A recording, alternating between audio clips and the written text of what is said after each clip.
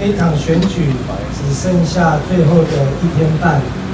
就要结束，礼拜天就要进行投票。啊，我很感谢党中央这一路以来对我们基隆市的关怀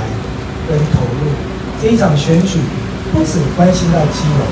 基隆市民手中最宝贵的这一票，不只是历史以来的第一次的罢免投票，更是会掌握及改变。台湾未来政治局势跟趋势很重要的一个分水岭，我们现在只剩下一两天的时间，要把握时间，尽量的把我们不同意票全部要催出来。谢谢大家。礼拜天，所有的基隆市民展现出我们的爱，展现出我们对和的期待，展现出我们团结的意志，都站出来，投下不同意票，不同意罢票。